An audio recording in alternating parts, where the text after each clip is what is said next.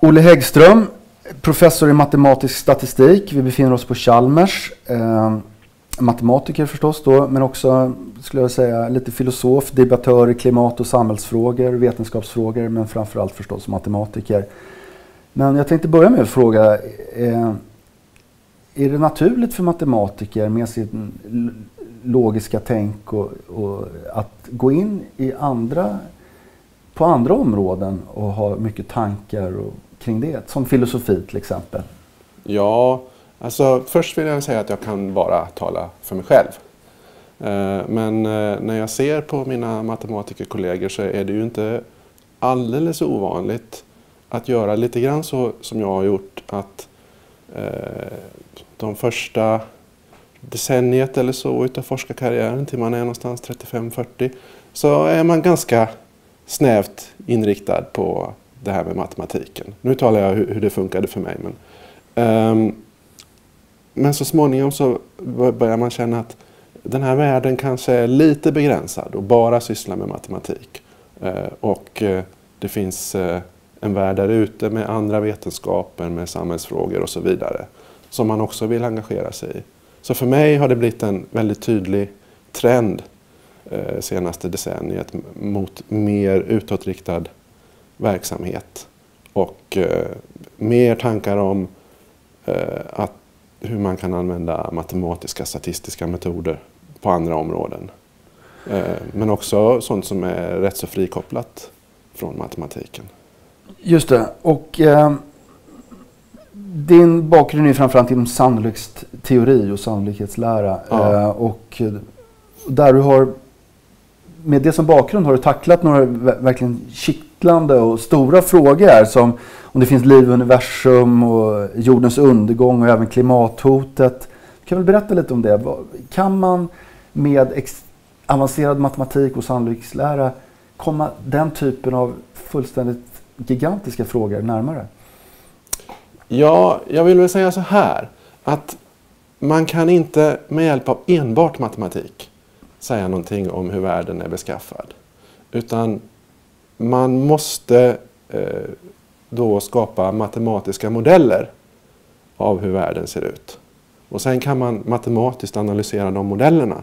Men det här steget att bygga upp en matematisk modell för hur världen ser ut i något visst avseende. Alla modeller är förenklingar och det gäller att välja för en viss typ av frågeställning vad för slags eh, vad man måste ha med i modellen och vad man kan plocka undan för att inte ge det allt för stor komplexitet. Och det där är ett, ett väldigt stort eh, och svårt steg. Många tror att det är liksom själva beräkningen, själva den matematiska analysen eh, som är det, det, stora och svåra. Men jag vill gärna betona att, att det är det här modellerandet som är liksom kopplingen mellan matematiken och verkligheten som är ett minst lika eh, svårt och komplicerat steg. Men om man då har en sån fråga som till exempel finns det liv på andra planeter där ute i världsrymden? Eller finns det till och med intelligent liv där ute? Eh, så kan man ha eh, viss glädje av att sätta upp matematiska modeller för, för det här och analysera det. Så på så vis så kan matematiken, vi har ännu inget svar på den här frågan om det finns liv där ute.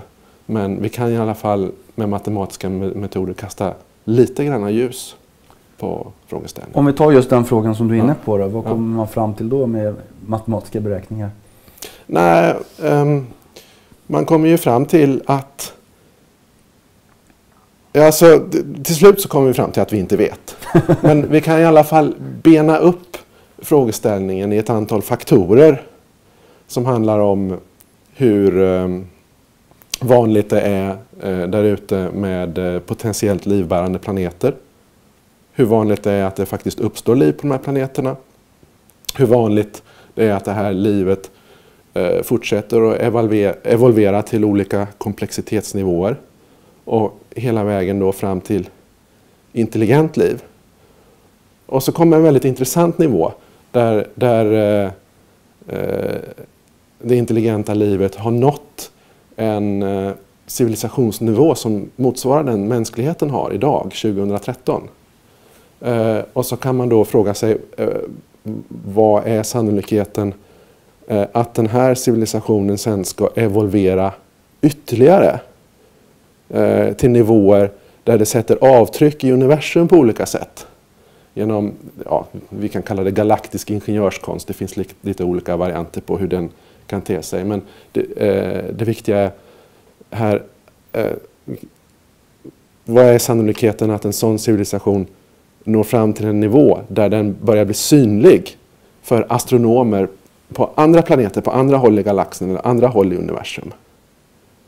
Och genom... Landar ni i någon siffra, procentsiffra? Så här, som utomstående vill man ju ha x procent Just det. Det finns, det finns så stora osäkerheter mm. på så många punkter i den här faktoriseringen. Eh, så att eh, det skulle vara övermodigt att eh, landa i en sån här siffra. Men, Men tanken ger ändå någonting, det är intressant. Det kan ändå ja. ge någonting att tänka ja. i de banorna. Ja. Men när det handlar om jordens undergång då? Är, är det samma svar där? Eh, ja, och det är lite grann relaterat faktiskt här.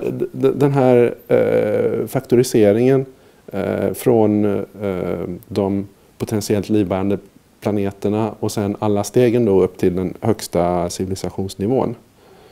Eh, det, det, den kallar man för det stora filtret därför att man har en enorm mängd planeter från början och sen så filtreras de ut efterhand i steg efter steg. Och, och då är en jätteviktig fråga då, hur långt genom det här filtret är vi? Är vi nästan igenom? Eller är det så att det finns stora svåra stötestenar framför oss, vilket i så fall är dåliga nyheter. Um, finns det det?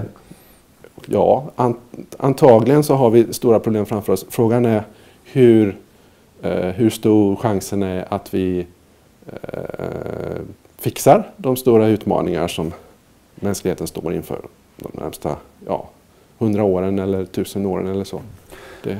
Och då kommer vi in på något annat mm. som du har tittat mycket på, i alla fall skrivit mycket på, bland annat på din blogg. Och det är det här singularitetsscenariot, att vi skulle stå inför någon slags intelligensexplosion där vi plötsligt blir otroligt mycket mer intelligentare som människor. Ja. Berätta lite om det. Det behöver inte nödvändigtvis vara vi som människor av kött och blod som eh, når den här intelligensexplosionen. Som datorer? Det kan, bli, det kan vara datorerna, ja. Så att eh, artificiell intelligens är ju en, en dröm vi har haft sedan 50-talet. Att skapa datorprogram som är lika smarta som vi och som du skulle kunna diskutera med på ett sätt som gör att du inte ser igenom att det här är en maskin du pratar med utan det skulle kunna vara en människa. Och det finns ingen anledning att tro att vi eh, har nått den högsta intelligensnivå eh, som finns. Utan det finns antagligen rätt stort utrymme ovanför vår nivå eh, med ännu smartare eh, individer.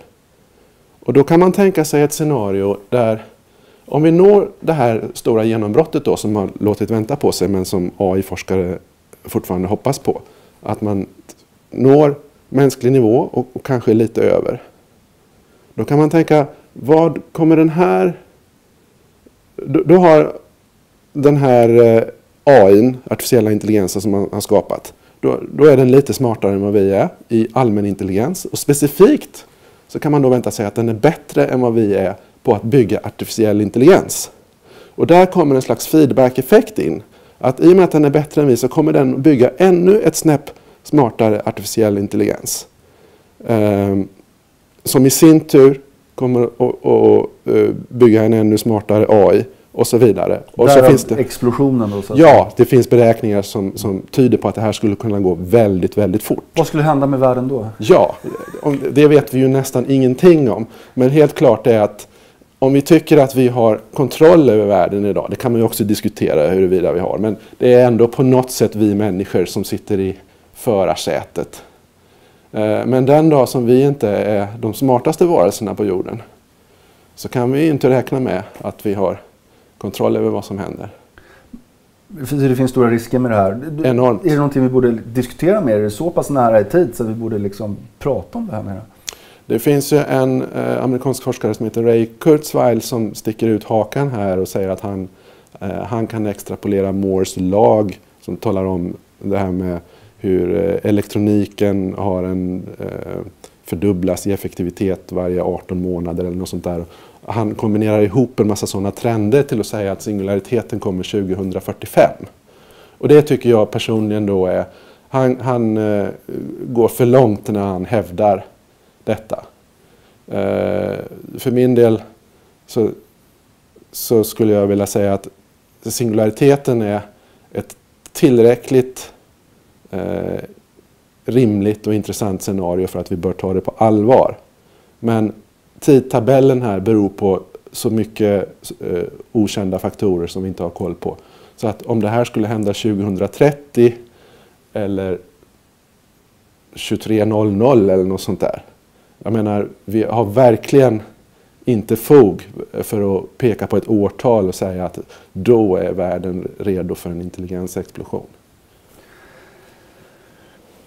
Det finns ju vissa som ser enorma risker med det här domedagsscenario nästan. Ja. Eh, vad, vad ser du det och vad menar de med risken? Ja, jag, jag ser det som eh, en, eh, en eventualitet att ta på allvar. Är att det kan bli en känslokall värld, att, så att säga, man tänker science fiction-filmer och så vidare. Eh, det finns eh, en forskare som heter Elsie Judkowski eh, som har en väldigt fin one-liner som beskriver riskerna med eh, en eh, okontrollerad eh, intelligensexplosion.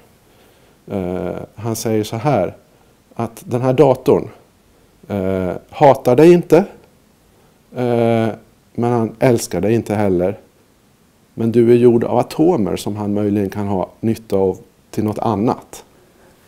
Alltså om vi inte har kontroll över vart de här AI-varelserna syftar och strävar med sin existens Eh, så är det mycket troligt att de ser på oss som, som någon slags irriterande ohyra som, eh, som står i vägen för, för deras... Och då är det ju liksom enklare att bara ja, ta bort oss.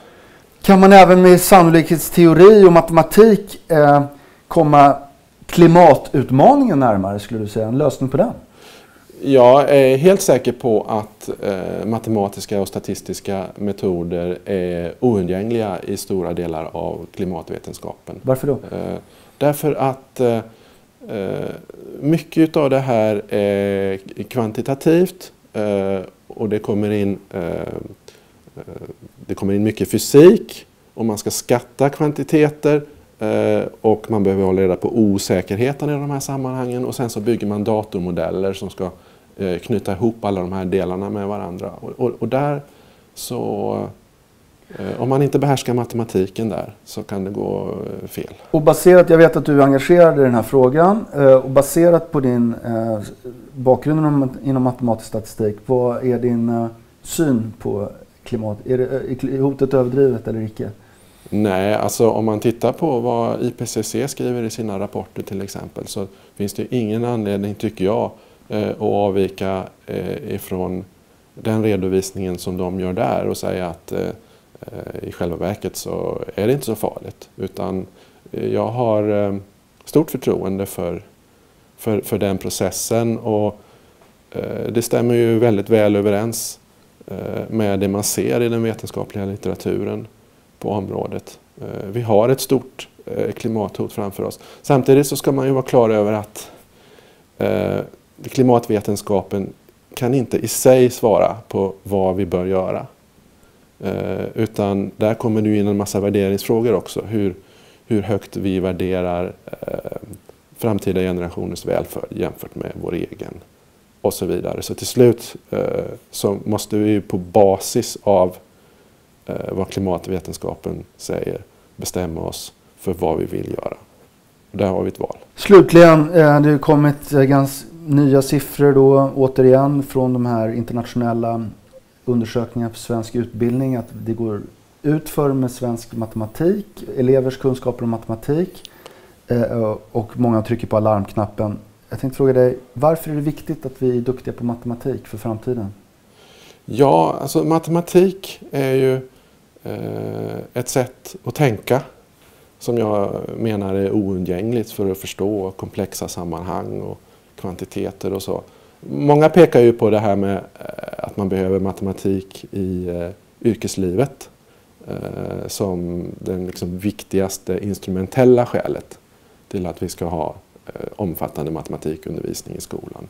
Men jag tror att minst lika viktigt är det här att för att vi ska fungera som demokratiska medborgare eh, så behöver vi kunna förstå vad det står i tidningen. Om man då inte, om man då inte vet skillnaden mellan miljoner och miljarder eh, och om man inte har den begreppsapparat som gör att man kan förstå till exempel en diskonteringsränta är då för att återkoppla till eh, med klimatekonomin eh, så har man väldigt svårt att på ett välgrundat sätt ta ställning i de stora samhällsfrågorna. Och det tror jag vore en, en väldigt eh, olycklig utveckling. Och för att undvika den så behöver vi en bra eh, matematikundervisning eh, på grundskola och gymnasienivå. Du